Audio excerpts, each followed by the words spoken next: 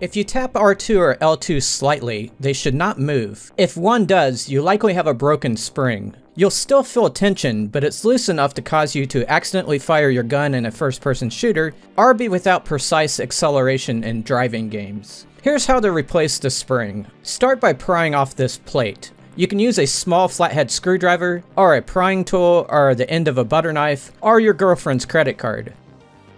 Start with the handles and just pry the plate upward from there. Once you get them unsnapped from the handles, you can start working your way toward the middle of the controller like this.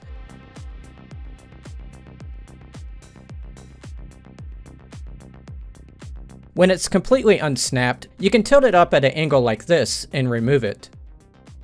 Next, you'll need to snap off the R1 and L1 buttons. Each one has a latch on the right and a latch on the left. Pry each side of it until it pops off. And just a warning, they do fly off pretty far. Next, you'll need to unscrew four screws with a small Phillips screwdriver. Any of the sizes that are on the screen right here will work. If the screws feel like they're not turning, add a drop of water to them and let them soak. Then tap on them and then try turning them. There's one screw at the end of each handle, and there's one under where the R1 and L1 buttons were.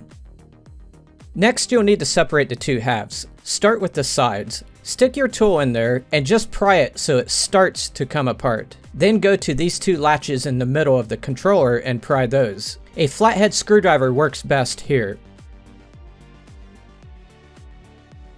Then go to the sides and continue prying. It's going to feel tight, but keep trying and be patient. It's possible that a latch may break when you're prying it apart, but it's not a big deal. It'll still screw back together just fine. With everything completely loose, you should be able to push on the trigger buttons and push the upper casing away from the lower casing.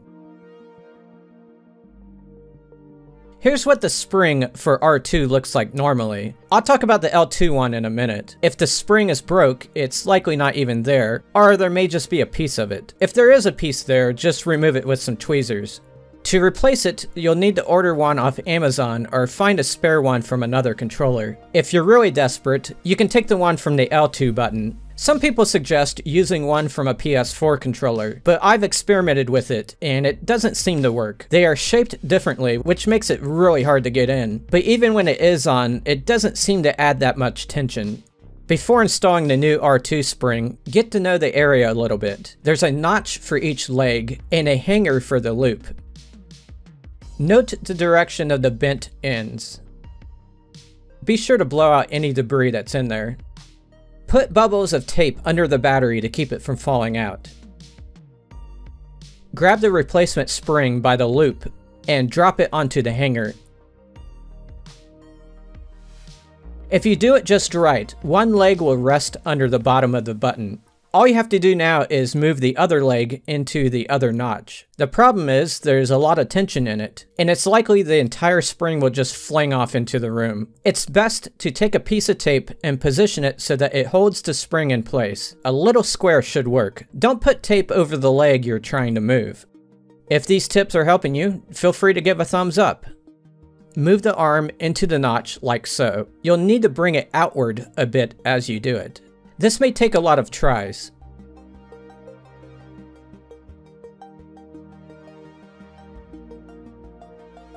If you have a lot of trouble, apply more tape until the leg under the button is completely blocked from moving. If you need to replace the L2 spring, things are much harder because there's stuff in the way. You can try installing the new one within the limited space, but most likely you're going to need to remove the things that are in the way. This is how you do it. Move the battery and remove the screw underneath. At the bottom of the battery compartment is a microphone. There's a little piece of ribbon on the right of it. If you push on it, it'll slide out. Just leave it hanging. You can now remove the battery compartment. Next, you'll need to remove the ribbon cables that are connected to the board. My board has four, but future revisions may vary, so be sure to check all around the board. I just pull them out with my fingers.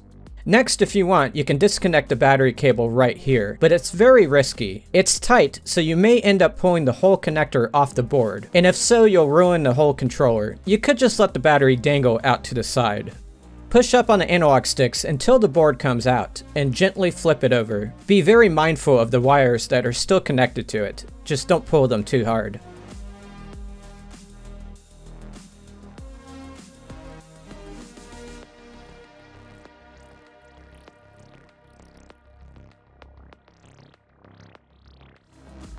There's a good chance that this speaker came out. If so, just lay it to the side and we'll deal with it in a minute. Now you have access to the L2 spring area, and you can perform the same actions I mentioned earlier for the R2.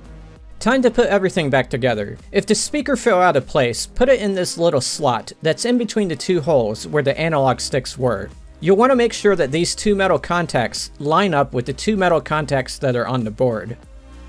Flip the board back over. As you're doing this, you'll want to make sure you're not crushing the ribbon cables. Just bring them up so that they wrap around the board. Then plug all the cables back in. Put the battery holder back on and screw it in. Then take the microphone and reinsert it into that slot. Then put the battery back in the way it was. Reconnect it if you disconnected it earlier. On mine, the QR code is facing upward. There's a tiny little bracket that allows you to stuff the battery cords underneath it. Next you'll have to put the two halves back together. Make sure these motor wires are not hanging over the edge. If they are, you might slice them. Start by putting the trigger buttons through the holes, and then try to evenly snap both sides together at the top. This part's very hard, so keep trying and be patient with it. Once the upper part is snapped together, you can then work your way down the sides. Make sure the two latches right here snap together. Then reinsert the four screws. You can then put the plate back on by tilting it at an angle like this, and then just make sure it snaps into place everywhere. Then snap the L1 and R1 buttons back into place. If you think your DualSense still has a problem, this video will show you how to test it on a free testing website. I'm Kevin with Gaming the Systems and I approve this message.